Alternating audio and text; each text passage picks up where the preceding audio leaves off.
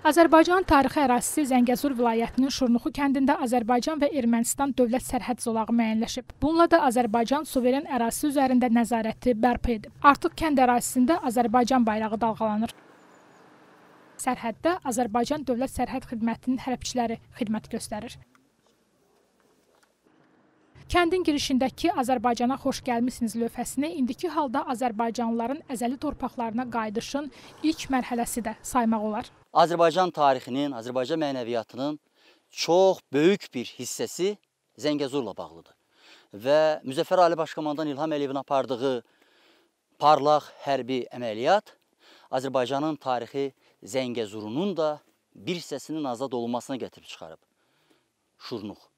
Bu, kiçik şəlalə deməkdir qədim Azərbaycan dilində.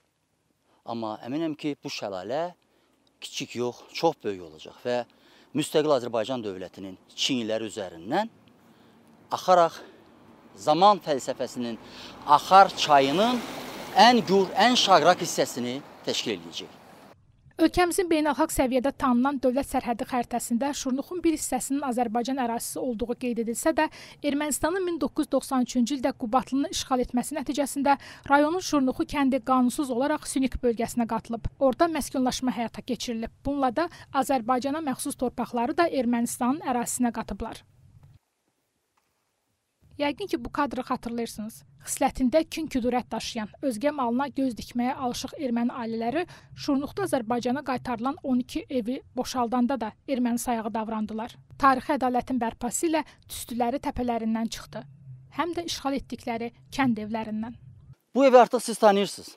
Yəqin ki, sosial şəbəkələrdə, YouTube-da bu evin yanan, alovlanan şəkillərini çox görmüsünüz.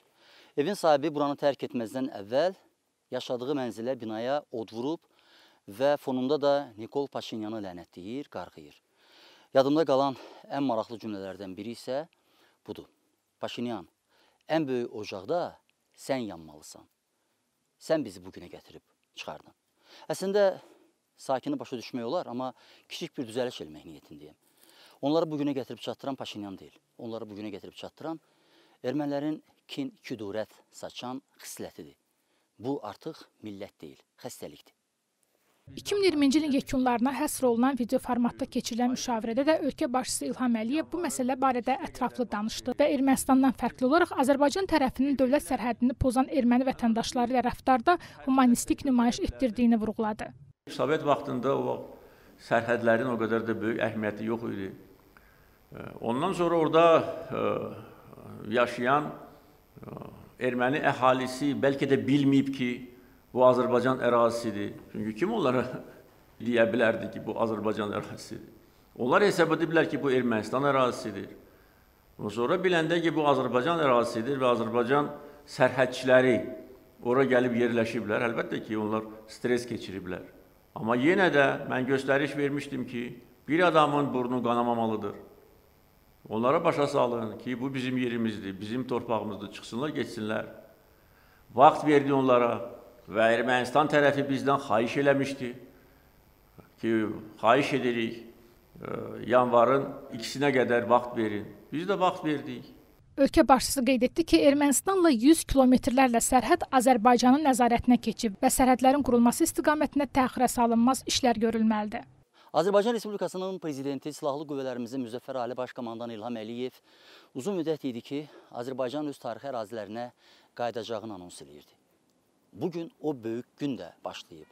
Biz Zəngəzurun, qədim Zəngəzurun, Şurnuq, qədim Şurnuq kəndindəyik. Və bu başlanğıcların anonsudur. Biz Şurnuqdan ilk filmimizi eləyib bu ərazini tərk edirik. Yenidən qayıtmaq, daha böyük Zəngəzur daha böyük qələbələr barədə danışmaqdan ötürü. Bu çəkdiklərimizin kiçik bir hissəsi idi. Azərbaycan sərhədinin Zəngəzur vilayətindən keçən hissəsini Mirşahinin müəllifi olduğu Azadlığın ad günü Zəngəzur sənədli filmində görəcəksiniz. Yanvarın 9-u saat 22:00-da.